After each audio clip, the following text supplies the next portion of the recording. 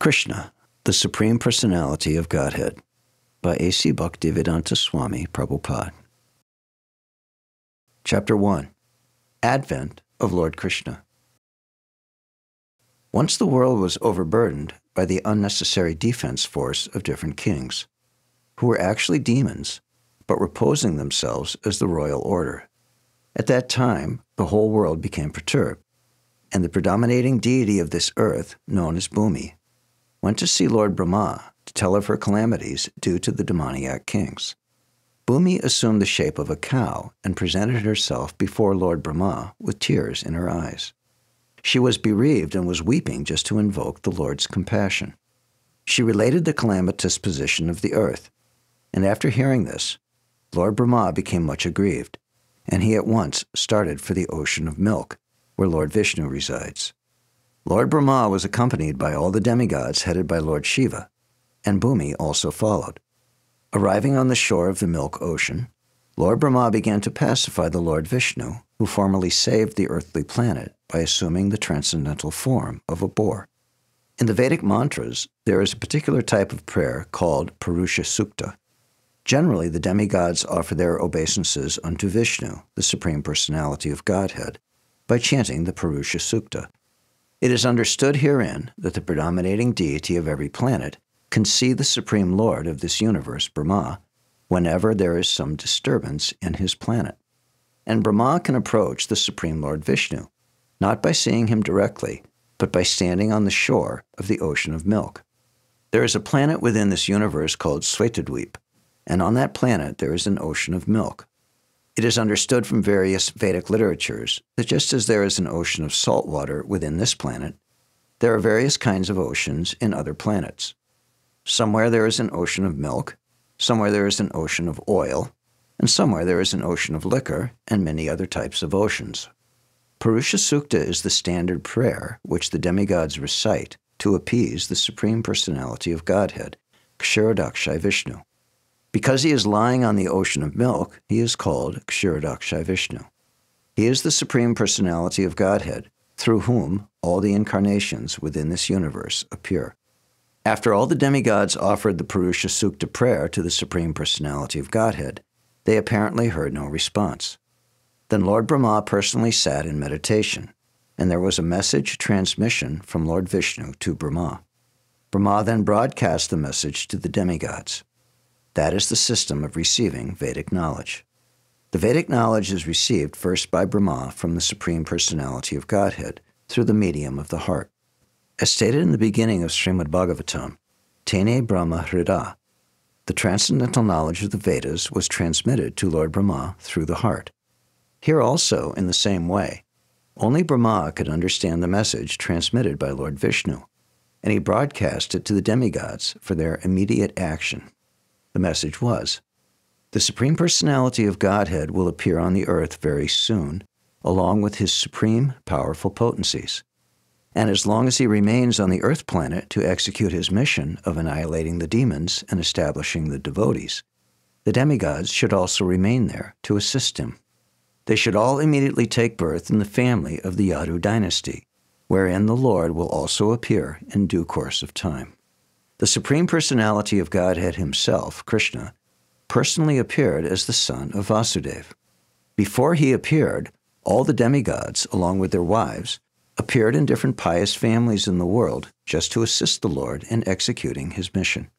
The exact word used here is tat priyartam, which means the demigod should appear on the earth in order to please the Lord. In other words, any living entity who lives only to satisfy the Lord is a demigod.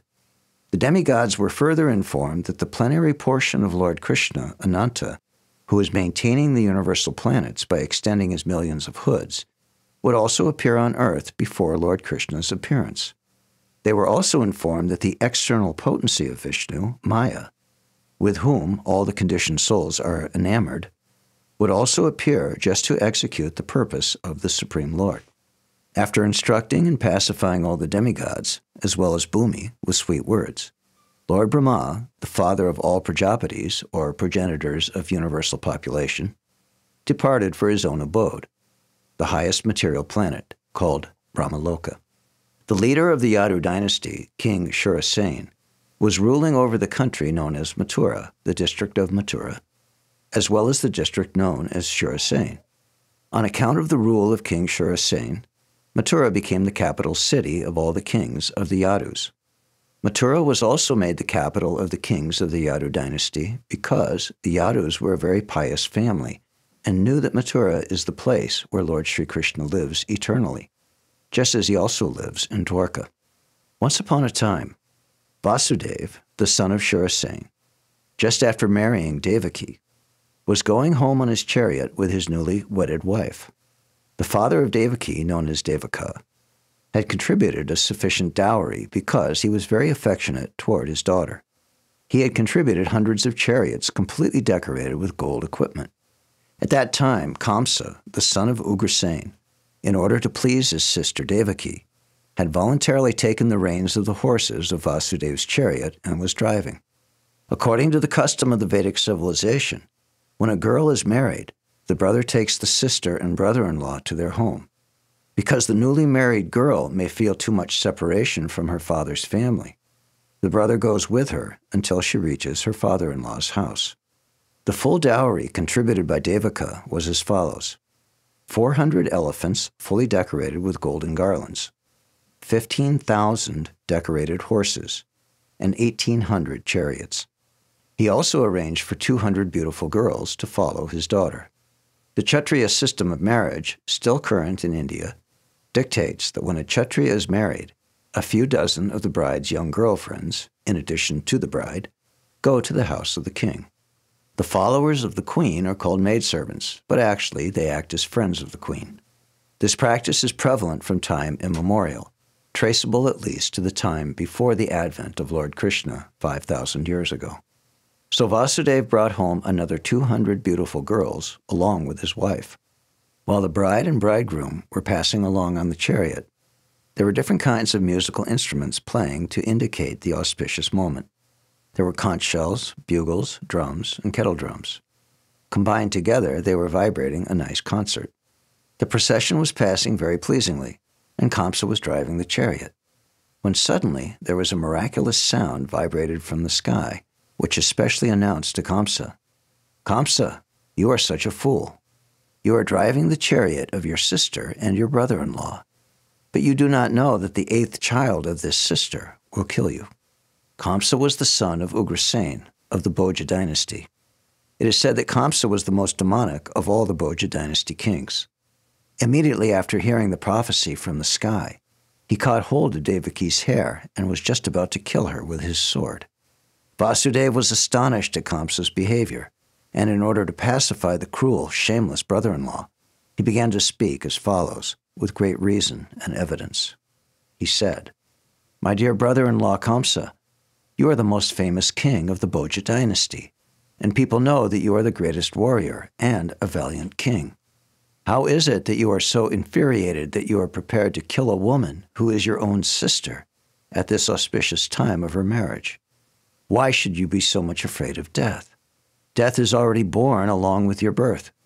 From the very day you took your birth, you began to die. Suppose you are 25 years old. That means you have already died 25 years.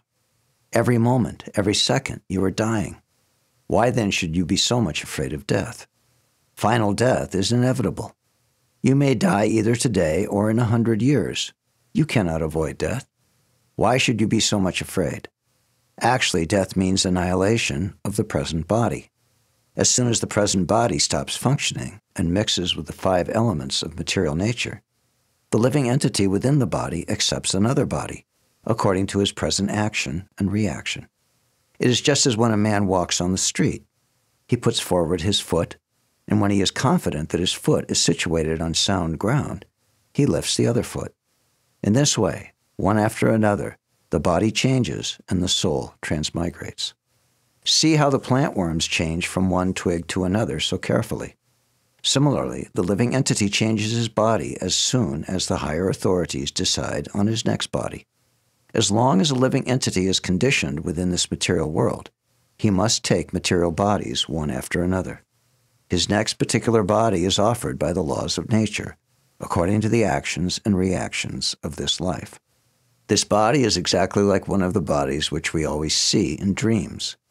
During our dream of sleep, we create so many bodies according to mental creation. We have seen gold and we have also seen a mountain. So in a dream, we can see a golden mountain by combining the two ideas. Sometimes in dreams, we see that we have a body which is flying in the sky, and at that time, we completely forget our present body. Similarly, these bodies are changing. When you have one body, you forget the past body. During a dream, we may make contact with so many new kinds of bodies, but when we are awake, we forget them all. And actually, these material bodies are the creations of our mental activities. But at the present moment, we do not recollect our past bodies. The nature of the mind is flickering. Sometimes it accepts something, and immediately it rejects the same thing. Accepting and rejecting is the process of the mind in contact with the five objects of sense gratification form, taste, smell, sound, and touch. In its speculative way, the mind comes in touch with the objects of sense gratification. And when the living entity desires a particular type of body, he gets it. Therefore, the body is an offering by the laws of material nature. The living entity accepts a body and comes out again into the material world to enjoy or suffer according to the construction of the body. Unless we have a particular type of body, we cannot enjoy or suffer according to our mental proclivities inherited from the previous life. The particular type of body is actually offered to us according to our mental condition at the time of death. The luminous planets like the sun, moon, or the stars reflect themselves in different types of reservoirs, like water, oil, or ghee. The reflection moves according to the movement of the reservoir. The reflection of the moon is on the water, and the moving water makes the moon also appear to be moving. But actually, the moon is not moving. Similarly, by mental concoction, the living entity attains different kinds of bodies, although actually he has no connection with such bodies. But on account of illusion, being enchanted by the influence of Maya, the living entity thinks that he belongs to a particular type of body. That is the way of conditioned life. Suppose a living entity is now in a human form of body. He thinks that he belongs to the human community, or a particular country, or a particular place. He identifies himself in that way and unnecessarily prepares for another body which is not required by him. Such desires and mental concoctions are the cause of different types of body. The covering influence of material nature is so strong that the living entity is satisfied in whatever body he gets, and he identifies with that body with great pleasure. Therefore, I beg to request you not to be overwhelmed by the dictation of your mind and body. Vasudeva thus requested Kamsa not to be envious of his newly married sister. One should not be envious of anyone, because envy is the cause of fear both in this world and in the next, when one is before Yamaraj, the Lord of punishment after death. Vasudeva appealed to Kamsa on behalf of Devaki, stating that she was his younger sister. He also appealed at an auspicious moment, at the time of marriage. A younger sister or brother are supposed to be protected as one's children. The position is overall so delicate, Vasudeva reasoned, that if you kill her, it will go against your high reputation. Vasudeva tried to pacify Kamsa by good instruction as well as by philosophical discrimination. But Kamsa was not to be pacified because his association was demoniac. Because of his demoniac associations, he was always a demon, although born in a very high royal family. A demon never cares for any good instruction. He is just like a determined thief. One can give him moral instruction, but it will not be effective. Similarly, those who are demoniac or atheistic by nature can hardly assimilate any good instruction, however authorized it may be. That is the difference between demigod and demon. Those who can accept good instruction and try to live their lives in that way are called demigods, and those who are unable to take such good instruction are called demons. Failing in his attempt to pacify Kamsa, Vasudeva wondered how he would protect his wife Devaki. When there is imminent danger, an intelligent person should try to avoid the dangerous position as far as possible. But if, in spite of endeavoring by all intelligence, one fails to avoid the dangerous position, there is no fault on his part. One should try his best to execute his duties, but if the attempt fails, he is not at fault. Vasudev thought of his wife as follows For the present, let me save the life of Devaki. Then later on, if there are children, I shall see how to save them. He further thought, If in the future I get a child who can kill Kamsa, just as Kamsa is thinking, then both Devaki and the child will be saved because the law of providence is inconceivable. But now, some way or other, let me save the life of Devaki. There is no certainty how a living entity contacts a certain type of body, just as there is no certainty how the blazing fire comes into contact with a certain type of wood in the forest. When there is a forest fire, it is experienced that the blazing fire sometimes leaps over one tree and catches another by the influence of the wind. Similarly, a living entity may be very careful and fearful in the matter of executing his duties, but it is still very difficult for him to know what type of body he is going to get in the next life. Maharaj Bharat was very faithfully executing the duties of self realization, but by chance he contacted temporary affection for a deer, and he had to accept his next life in the body of a deer. Vasudev, after deliberating on how to save his wife, began to speak to Kamsa with great respect, although Kamsa was the most sinful man. Sometimes it happens that a most virtuous person like Vasudev has to flatter a person like Kamsa, a most vicious person. That is the way of all diplomatic transactions. Although Vasudev was deeply aggrieved, he presented himself outwardly as cheerful. He addressed the shameless Kamsa in that way because he was so atrocious. Vasudev said to Kamsa, My dear brother in law, please consider that you have no danger from your sister. You are awaiting some danger because you have heard a prophetic voice in the sky. But the danger is to come from the sons of your sister who are not present now. And who knows? There may or may not be sons in the future. Considering all this, you are safe for the present, nor is there cause of fear from your sister. If there are any sons born of her, I promise that I shall present all of them to you for necessary action. Kamsa knew the value of Vasudev's word of honor, and he was convinced by his argument. For the time being, he desisted from the heinous killing of his sister. Thus, Vasudeva was pleased and praised the decision of Kamsa. In this way, he returned to his home. After due course of time, Vasudev and Devaki gave birth to eight male children, as well as one daughter. When the first son was born, Vasudev kept his word of honor and immediately brought the child before Kamsa. It is said that Vasudev was very much elevated and famous for his word of honor, and he wanted to maintain this fame. Although it was very painful for Vasudev to hand over the newly born child, Kamsa was very glad to receive him. But he became a little compassionate with the behavior of Vasudev. This event is very exemplary. For a great soul like Vasudev, there is nothing considered to be painful in the course of discharging one's duty. A learned person like Vasudev carries out his duties without hesitation. On the other hand, a demon like Kamsa never hesitates in committing any abominable action. It is said, therefore, that a saintly person can tolerate all kinds of miserable conditions of life. A learned man can discharge his duties without awaiting favorable circumstances. A heinous person like Kamsa can act in any sinful way, and a devotee can sacrifice everything to satisfy the Supreme Personality of Godhead. Kamsa became satisfied by the action of Vasudev.